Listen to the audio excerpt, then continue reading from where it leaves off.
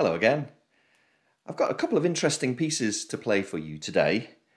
They come on a single piece of paper, but unlike the canon duets that I played previously, where one part plays after the other, in this tune they play at the same time, but one part plays the music this way, and the other part plays the music upside down.